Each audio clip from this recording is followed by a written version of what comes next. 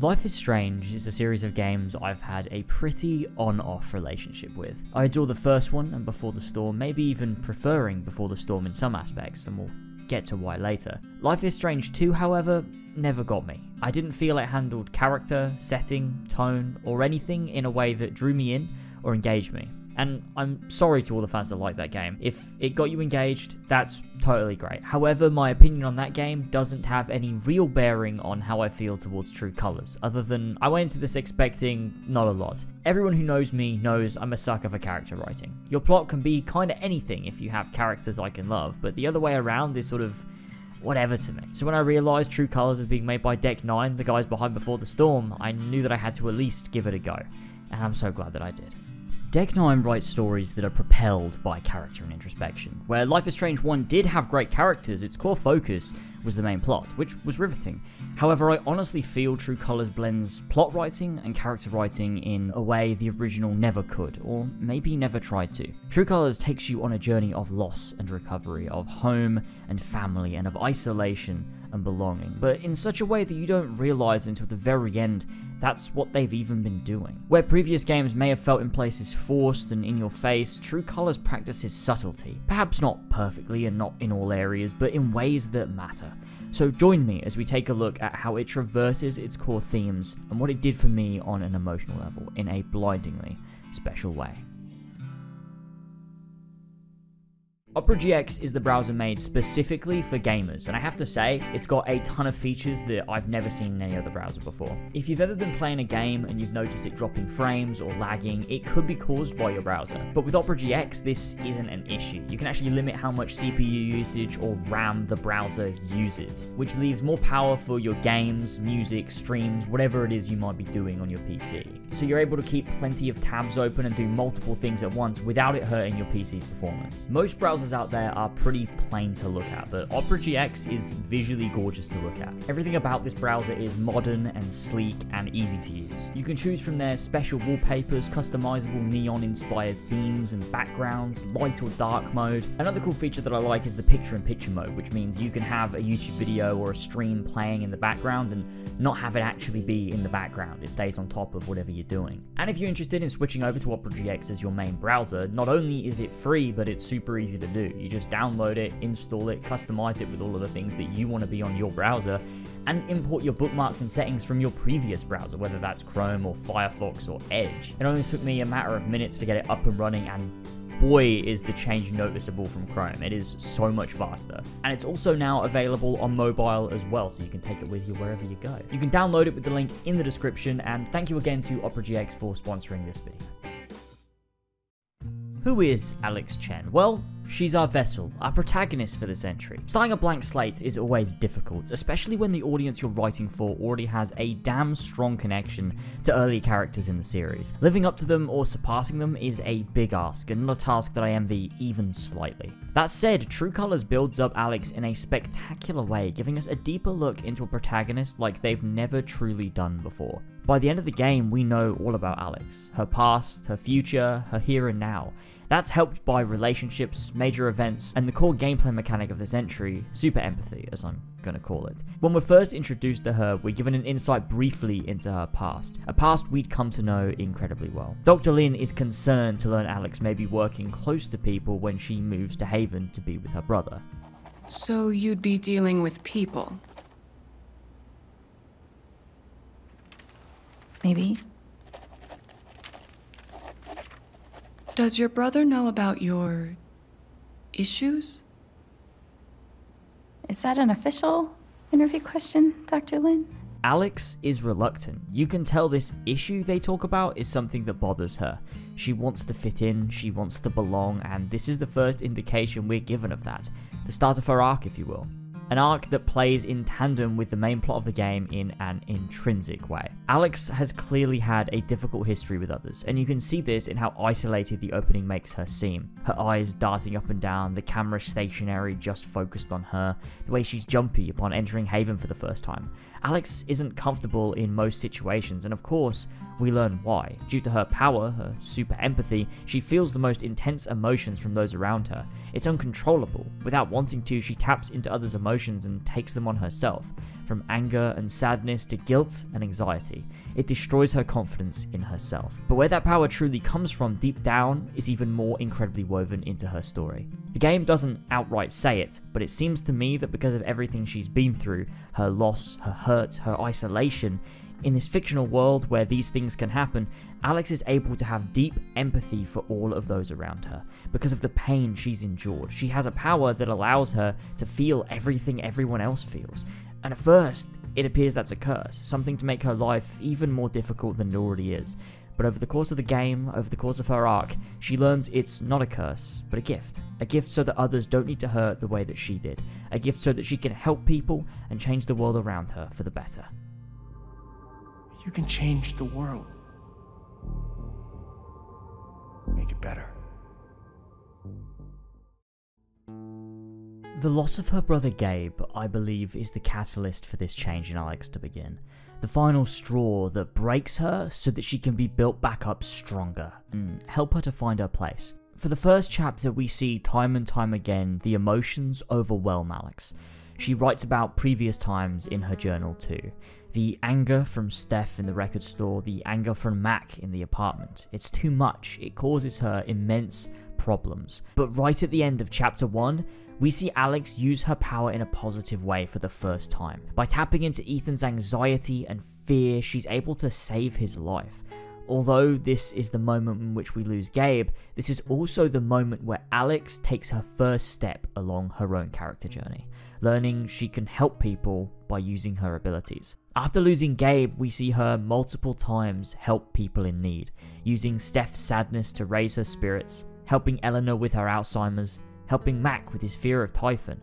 Chapter 2 is all about Alex learning that this power she has, like Gabe told her, is a superpower, something she can use to help people. This in turn links her to the people of Haven and to Steph and Ryan. Alex begins to find her place through what she can do, and all of that happens because she and the town loses Gabe, a person everybody cared about, including the player. Despite not knowing him long, they plant enough seeds to have us give a shit, and that's pretty damn powerful.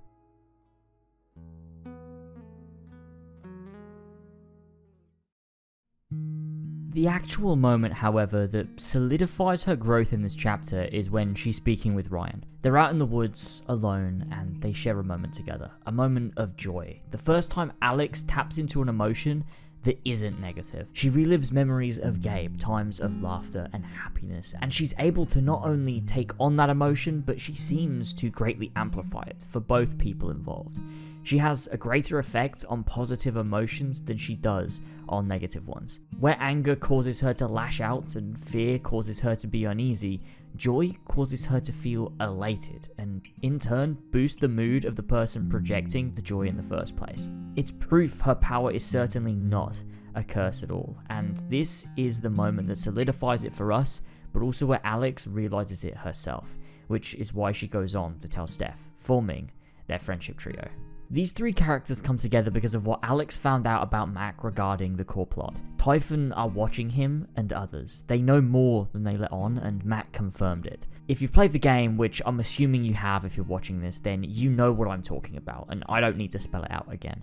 But the point is that these three, Alex, Steph, and Ryan, they come together because all three of them cared for Gabe, and all three of them have their suspicions on what truly went down. This allows a friendship to form between all of them. The relationships here that Alex forms is the start of her true sense of belonging. Previously, her powers have allowed her to begin a journey of self belonging. Who is she supposed to be? But now, with Steph and Ryan, she's able to begin her journey of true belonging where is she supposed to be? Where in Life is Strange and Before the Storm, the relationships between Max and Chloe and Chloe and Rachel are pretty core, the latter being the whole point of that game. In True Colors, the relationship you can form between either Steph or Ryan isn't as core as before, but what it does do is push forward the central character journey for Alex. It exists really as an involved way to give you agency over how Alex reaches her final point. I'm going to be talking purely about Steph because that's the route that I chose, however, it doesn't really matter which you go with. Becoming closer with Steph grows something in Alex that she's never truly had before, which is somebody to call home. Steph embodies that for Alex, and as we grow closer, so too does Alex's own sense of home. From playing with Steph on stage to giving her the rose to their kiss on the rooftop, every step has Alex internally considering her actions. We see her flourish as she discovers things she needed but didn't even know she wanted. Growing closer with Steph, however, isn't the only core growth to go hand in hand with the main narrative themes. Growing closer with Haven itself is integral to Alex's arc. Over the course of several days, you're able to help all of the people of the town Mac, Riley, Charlotte, Eleanor, Pike, and so on, as well as a whole section in Chapter 3 being dedicated to helping Ethan, an entire LARP set up just for him. Alex thrives on helping others, something she never quite noticed before and something she was made for, which she slowly reveals to herself.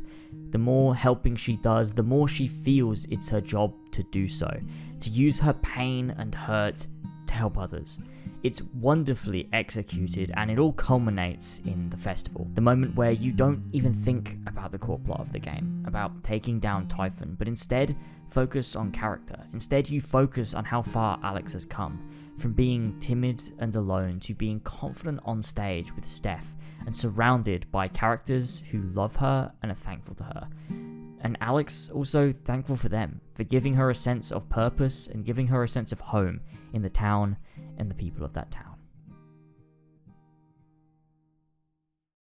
Now, the core plot of this game is the conspiracy of the company Typhon. How did Gabe die? Why did Gabe die? And what is this company hiding? That, however, is merely a guise for the true purpose of this game and something that I loved. Yes, the mystery is compelling, and yes, it's bloody engaging, but it's not until chapter 5 that we realize the game's true goal.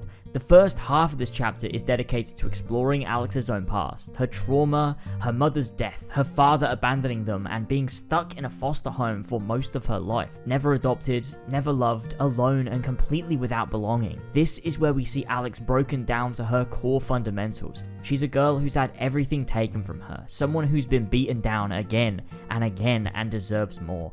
Alex Chen is the point of this game. The entire thing is one big character study on the trauma one can go through and the transformation that could and ideally should occur there, turning pain into triumph. When we start this game, Alex has no idea who she is, what she wants, or where she belongs. When we end this game, she knows all three. She has a home in Haven after years of wishing. She has belonging in Steph and Ryan, and she has purpose to help people and change the world around her for the better which is why the conclusion of Typhon doesn't really matter. We never really find out how it all ends because the true ending is seeing where Alex lands, seeing her shift in confidence, seeing her reach her peak as she grows in herself, as she finds all the things she needs, as she finds her sense of belonging, her powers become more and more useful and more and more powerful. The more introspection we see, the more she's able to tap into others, and this culminates in the final monologue to Jed, one of the most powerful moments in this entire damn franchise, potentially the most powerful. The writing is solid and the performance is just fantastic. It ends in a choice, however, it never felt like a choice to me. To condemn Jed would betray the point. Despite his awful actions, despite what a bad person he's been, forgiving him shows where Alex has finally landed. Her arc is complete. She's been on a full character journey and it's beautiful to see. Max definitely grows and so does Chloe, but Alex Chen's character journey is honestly on another level for me. Something that not only takes us along a hell of a set of story beats, but also has something incredible to say about life. To help others is to help yourself. To connect with others is to find belonging and give yourself a home. It's why no matter the choice at the very end, stay in Haven or travel with Steph, you can still complete that arc. It's the connections you make to people that give you home. Alex can always return to Haven, the people are always there, but she can always travel with Steph, and that sense of home never fades there either. It's beautifully illustrated and entirely subtle. The main plot is great, but the overarching character exploration is infinitely my favourite part about this entire experience.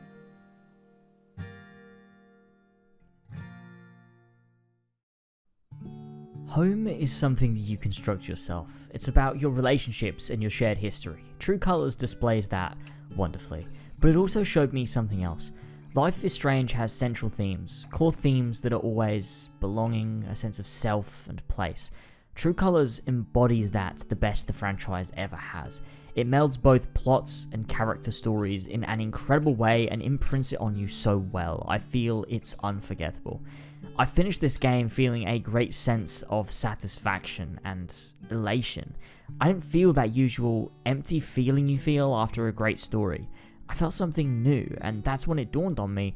Experiencing this game made me feel a sense of belonging too. I felt connected with Alex's arc and felt I'd found something by the end as well so it didn't feel wrong to turn off my console and move on. It felt right. It felt like I'd learned something special and valuable, and Alex's arc took me to the places I needed to be taken to. The game itself is so contained and so small, but the story it tells and the emotion it invokes is in the major leagues for me. This game did something I won't soon be turning away from, and I'm so pleased I went on this fantastic journey. He told me that home isn't something you find, it's something you build. Thank you guys so much for tuning into this video. I really appreciate it. This was something that I wrote pretty quickly um, compared to some of my other projects. It was just after finishing True Colors, it just it sparked something, man. It's when a game does that, it's very special, and I, I, I had to not let that feeling fade. I had to make a video, commemorate it, fucking marketing history. There's there's the video. It's done. I had to I had to write this out and document just how the game made me feel and what it did for me and the way that the journey was constructed was just so fucking brilliant. It's it's it's a game like like no other man. It, it really takes what Life is Strange is all about and just propels it so much further. It, re it really did do bits, and I, I, hope, just hope everyone else has the same experience that I did with it. Um, if you want to check out my original playthrough of the game when I went through it the first time, I actually streamed it all over on Twitch. So if you want to see me stream anything in the future, whether it's the new Life is Strange DLC, future Life is Strange games, or, or other stuff, I'm, I'm doing all that over on Twitch. So that's linked down below. But I'll also link the VODs for you because I have a VODs channel and I have a another channel where I edit videos together. Um, the VODs are all on that channel um, for Life is Strange. So um, I will link the playlist for those down below if you want to see my initial first time reactions to the game. Um, and you can see sort of, you know, my reaction to the end and how I formed this sort of opinion on where the game took me. It was a really, really fun time. You know, there was some fucking funny moments, there was some emotional moments, there was some shock. It was a really good time. So definitely go check those out. I'll link all that below. Um, don't forget to drop a like. Don't forget to subscribe. Thank you to everybody on Patreon. Uh, I really appreciate the fuck out of everyone on Patreon. If you want to help support me further, if you really enjoyed this, you enjoy the content I put out, you can get it early access on Patreon, uh, as well as supporting me as well, and you get access to a bunch of other exclusive stuff over there too. So, you know, consider going over there, dropping a dollar. It'd help me out, and it'd also uh, get get you access to you know a bunch of other content that you might be interested in.